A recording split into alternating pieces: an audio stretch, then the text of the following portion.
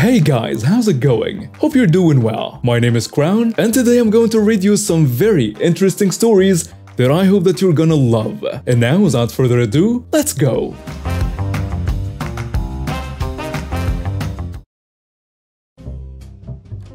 So this happened to me when I was 18.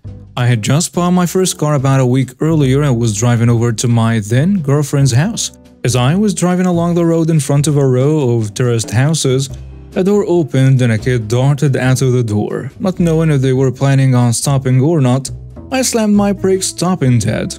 The kid had turned and carried on along the pavement so apparently wasn't heading into the road. Anyway, in my sudden stopping, I really didn't care what was behind and got rear-ended. Nothing too serious, both cars drivable, just bent bumpers.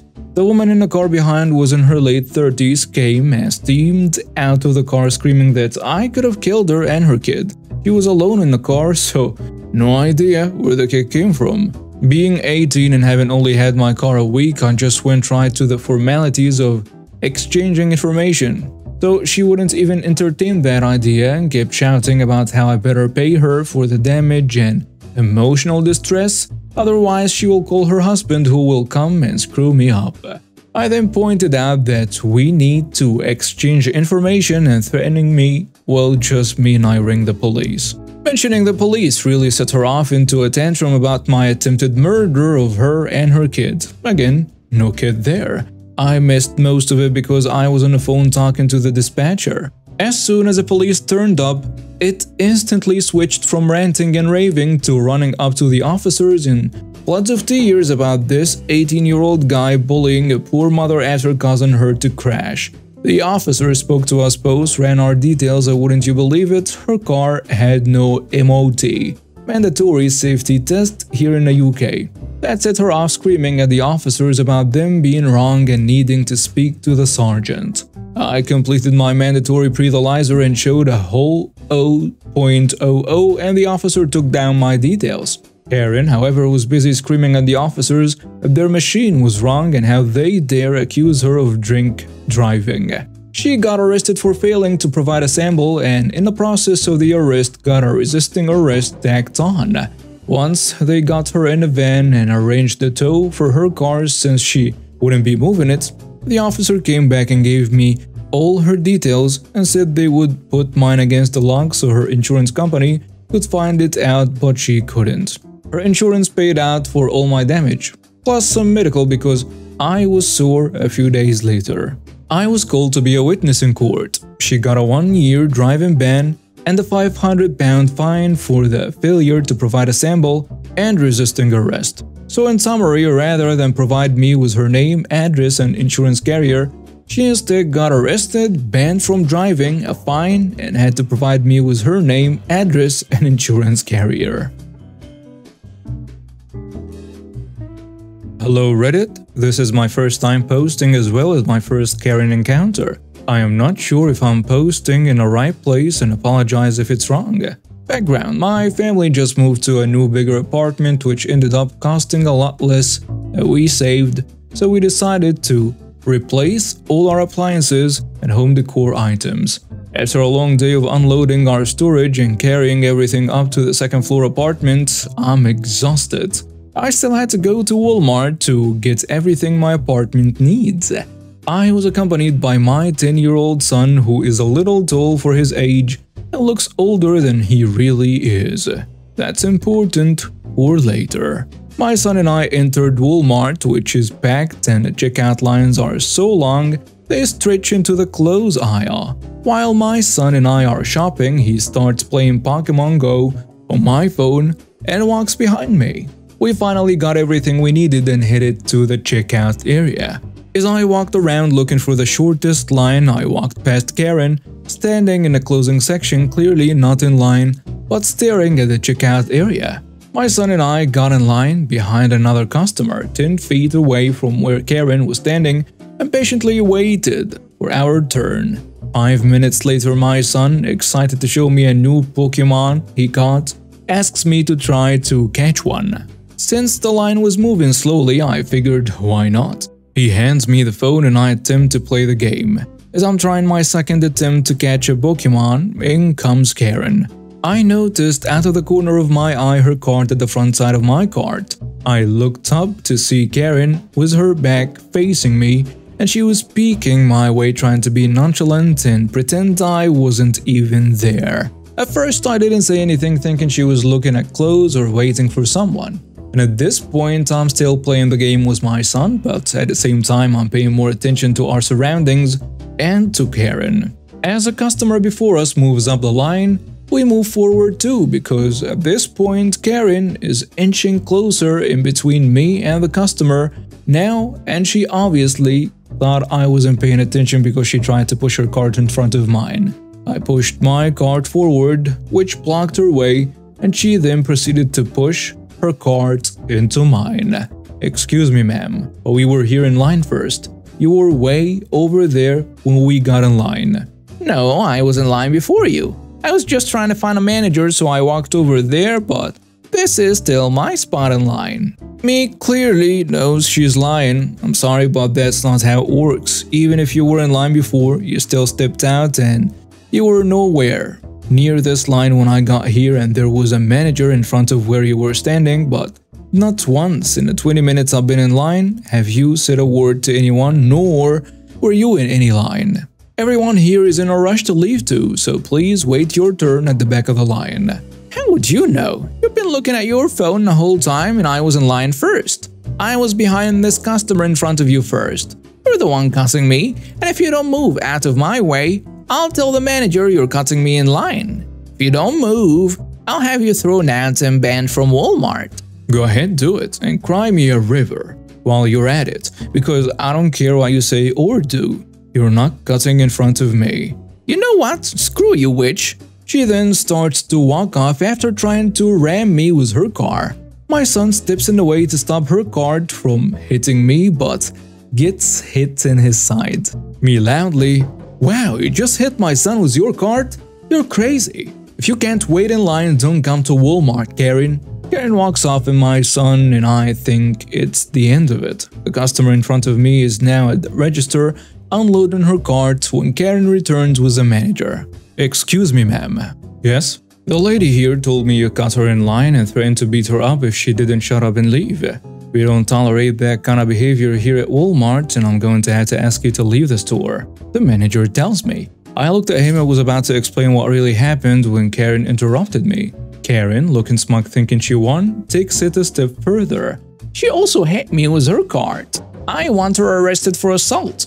I want a police call that she assaulted me and threatened my life, all because I wouldn't let her skip me. The customer in front of me that was finishing up her transaction turned around looking irritated at the lies Karen was spouting.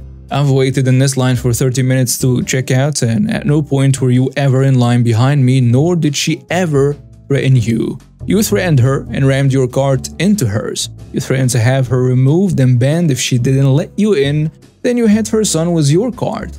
She was well within her rights to stand her ground. The manager, looking confused now, asked me if it was true and both my son and I said yes at the same time. I started to explain my side of what happened, but Karen kept interrupting me. Lies, all lies. This dumb witch is a liar. She assaulted me. I want her arrested now. Calm down, ma'am. We will get to the bottom of this. But she cuts off the manager. No, I want her arrested now. She screamed at him. Ma'am, you're making a scene. If you don't calm down and lower your voice, I'm going to have to ask you to leave. She threatened my life and assaulted me and you're going to kick me out? I want your manager now. I am the general manager of this store. If you want anyone above me, you'll have to call corporate. Now ma'am, I am going to ask you one more time to calm down before I trespass you from this store. Karen, upset that she's not getting her way. So this is how you run your store. You protect violent people who attack other customers and kick out the victims. I'll have your job. Well, you're not the victim here. Her son and her are. You threatened and attacked them because you got caught skipping the line. The nice customer told her. Mind your own business, witch. No one asked you. It is my business. I witnessed everything and I will always speak out against disgusting people like you. How dare you speak to me like that, you piece of… That's enough from you the manager told Karen. The manager, not wanting to deal with Karen anymore, calls the police to escort her out of the store and trespass her. And in comes a cool cop of our story. Hey sir, what seems to be the problem here? He asks the manager. Well, I have a dispute between Karen cutting off the manager with fake tears. Officer, this woman threatened my life and attacked me for no reason. I want to press charges and I want her arrested now. Officer, she's lying. She attacked my mother and me because we wouldn't let her cut us in line. Shut up. You're a pathetic excuse for a man allowing this violent mother of yours in public. Karen yells at my son. She's not violent. She's my kind, caring mother. You are the violent one who can't even watch your mouth around kids. You even hit a minor with your cart. I did no such thing. It's true, I witnessed the whole thing. The nice customer was still there and she told the cop. They are lying. I was the one attacked. Do you have footage of the incident? The cop asked the manager. Yes, I do. My loss prevention guy pulled it up as we were waiting for you to arrive. Karen starts to look nervous and starts making excuses to leave. That'll take too long and I'm in a hurry. But you insisted on the police being called. Besides, it shouldn't take more than 5 minutes. I really have to go. I'm in a rush. You haven't even checked out yet and it looks to be a 20 to 30 minute wait, so there is plenty of time. But I… The cop cutting in said, Ma'am, you are currently being detained and I can't let you leave till… Karen cutting off the cop now. You can't detain me. I did nothing wrong. I have rights. Well, from what I understand, you assaulted a minor with a weapon which is a third degree felony. But… No buts. Now sit quietly while we review the video. 10 minutes later, Karen was arrested for assault of a minor in a third degree, reckless endangerment of a child, disturbing the peace, and she was trespassed from all Walmart stores. As she was escorted out the store in cuffs, she just kept yelling she never hit a minor. Her son is 10 years old and you assaulted him with your cart. I suggest you use your right to remain silent because everyone has had enough with your foul mouth. The cop took statements from everyone and then took Karen away. The manager apologized for our experience and gave me and my son a $50 gift card each. It was said Karen could face 5 years in prison and a fine of $10,000 or even both. Well deserved. I'm a bit pissed and need to know if I'm overreacting here or if I'm justified. I'm a 31 female and last week my partner 30 male asked if he could use my car to go and pick up his friends from the airport. I asked him why he couldn't use his car and he said that his car was booked in for maintenance that day and mine was bigger anyway. I checked what time the flight got in, worked out that time was work and said no problem, he can take my car. This morning he gets ready and asks where the keys are. I tell him they are on a key tray and he says, no, the Ferrari keys. Background The Ferrari is a 328 that I inherited because my dad died less than two months ago. I told him there is no way he's driving the Ferrari and he could use a Land Rover, which was what I agreed to.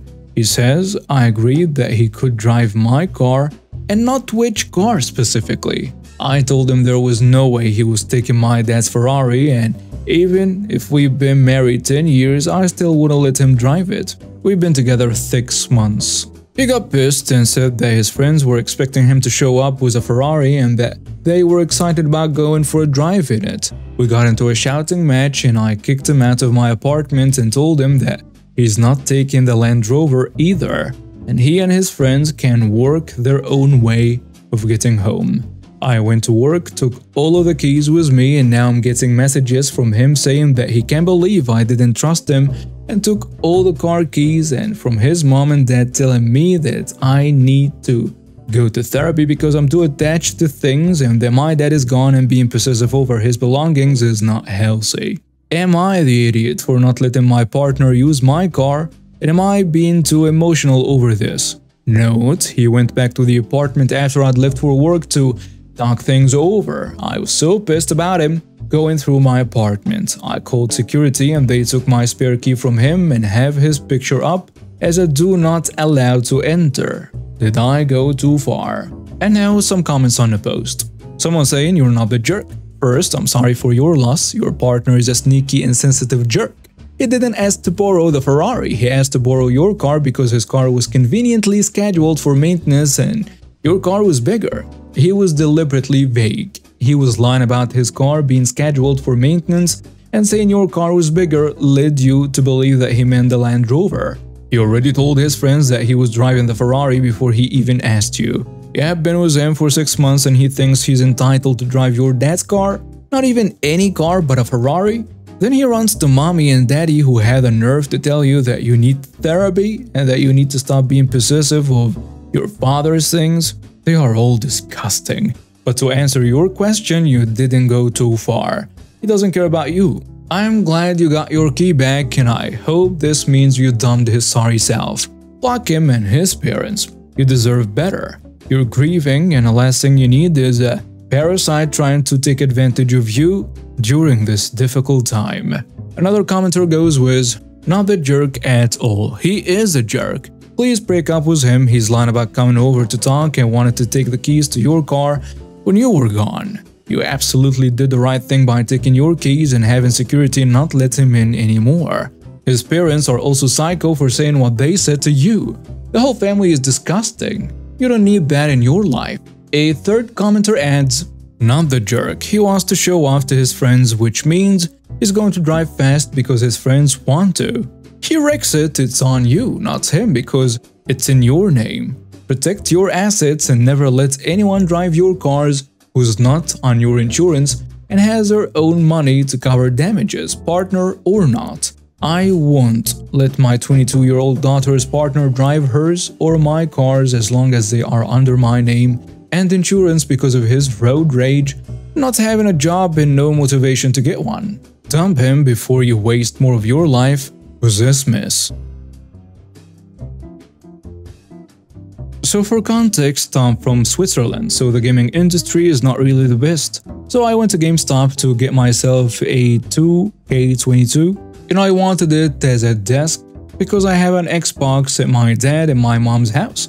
And I can play it on any of those consoles if I have it on desk. GameStop in Switzerland only has about 5 of every new game for Xbox since PS4 is the most popular, and they really don't care about Xbox much. So I saw 2K22 and it was a very last one. I grabbed it and went to the counter with my mom's credit card which she gave me to go get the game as a birthday present and that's when the entitled mother comes in with her 11 to 12 year old kid. The kid looks at the shelf and doesn't see 2K22 for Xbox and sees it in my hands. He then comes to me with the entitled mother after seeing him waiting for the cashier to arrive. The mom asks me if I could give her the game because she would give me an extra $25. I kindly declined and told her she could buy an Xbox gift card and buy it online.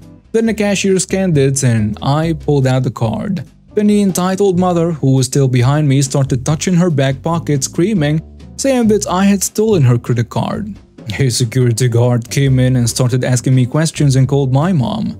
My mom had to come all the way to the store to say and prove it was her credit card. The security got her out, and my grandmother insisted that we press charges on this woman. And now we have reached the end of today's stories. Thank you for watching and see you next time.